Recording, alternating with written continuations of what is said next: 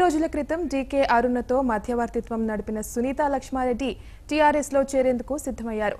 కేసీఆర్ కేటీఆర్లతోనూ సమావేశమైన సునీత లక్ష్మారెడ్డి ఏప్రిల్ మూడున నర్సాపూర్ బహిరంగ సభలో టీఆర్ఎస్లో చేరాలని నిర్ణయించుకున్నారు.